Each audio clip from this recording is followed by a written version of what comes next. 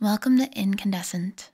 When you connect with your deepest passions and intense emotions and allow them to fuel you, you radiate positive energy from you to the world around you. It's my goal that by listening to this, that's exactly what you do. Whether you listen to this in quiet meditation or while going about your day, just allow it to make you feel more present and, in fact, incandescent. I know I'm where I'm meant to be. I feel so complete. Hey there. You might be able to hear in my voice that I have a bit of a cold. I hope it's not showing up too much. I have the uh so basically like the thing podcasters say not to do is to not have a whole bunch of episodes in the can, right? All prepped because you never know when you might get sick or something might happen. And I record as I go. So that will change. But for now, I still record uh, pretty much each day based on what I'm feeling. So right now, because of what I'm going through, I have a tendency to really get hard on myself when I feel physically sick. Like, I don't even want people to know it's happening.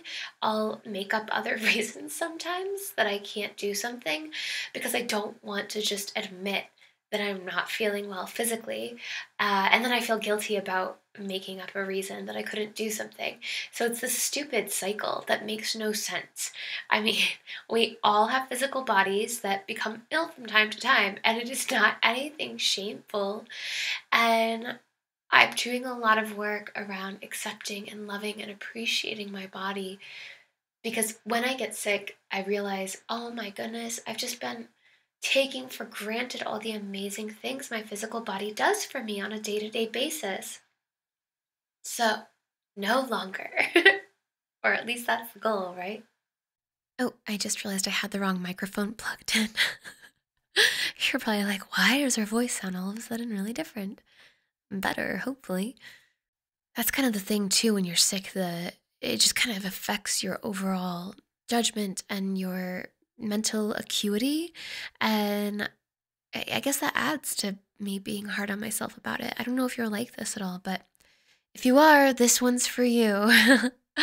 so if you ever take your body for granted, beat yourself up when you're sick, um, just don't handle feeling ill well. I really hope that this helps. Enjoy. Oh, and before we start, just a quick disclaimer please do not operate heavy machinery while listening to this podcast. Okay, let's dive in.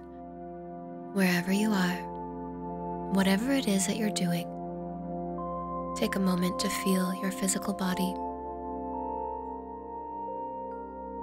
Feel yourself inside of your body.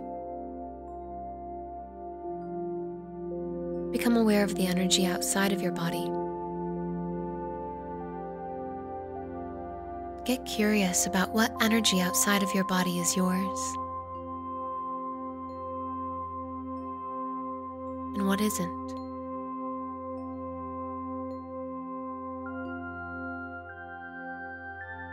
Notice how your energy melds with all that's around you.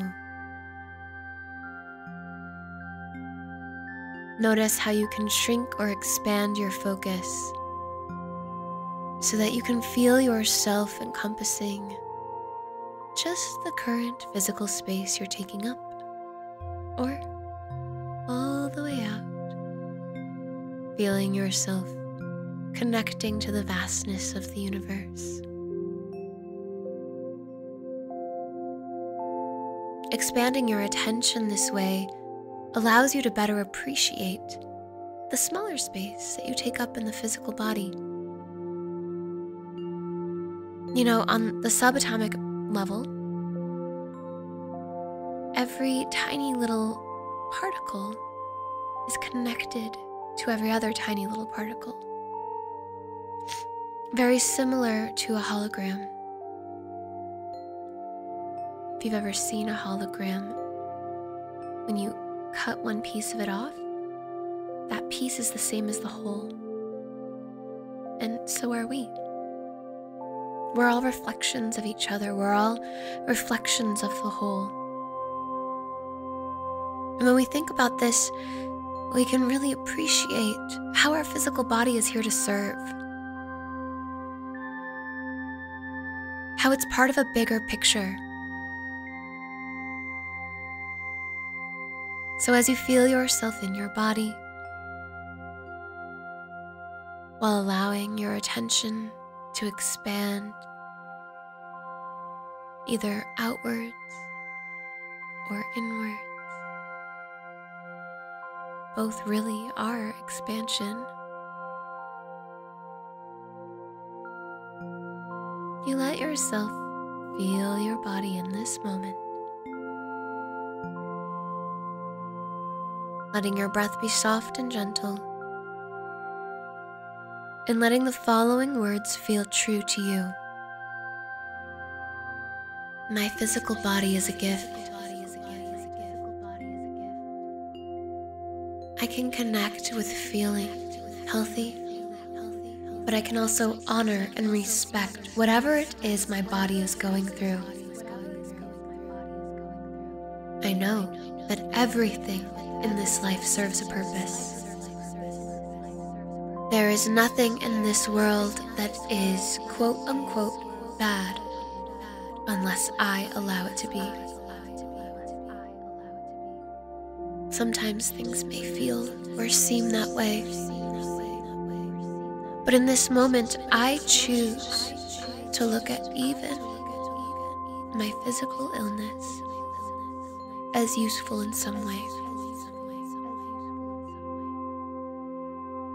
I'm willing to see it differently. I'm willing to trust my body and to trust the universe and appreciate what is happening. I'm willing to love my body no matter what it's going through. I'm willing to say to my body, You got this. I love you. I trust you, and I will do whatever I can to best serve you. I'm sorry for the times that I wasn't serving you.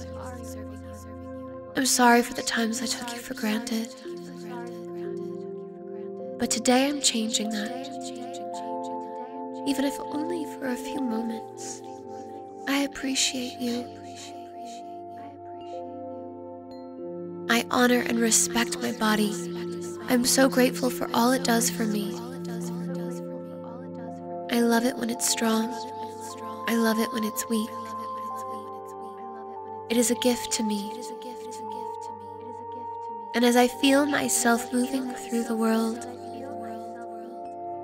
I recognize the importance of my physical body.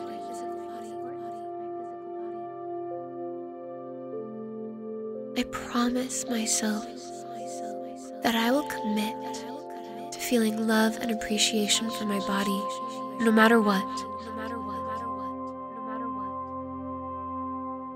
Love my body in weakness and in strength. And I am so grateful. Take this feeling with you everywhere you go throughout the rest of the day.